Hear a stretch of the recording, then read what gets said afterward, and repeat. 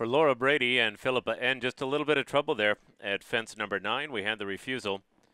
It'll be four jumping faults. We'll have a few time penalties as well. It is going to take, uh, looks like it's going to take a double clear ride to be in our ribbons. Right now, one of our four fault efforts actually sitting in eighth place, but uh, likely to be double clear rides only that will uh, take home a ribbon in today's Children's Adult Amateur Jumpers.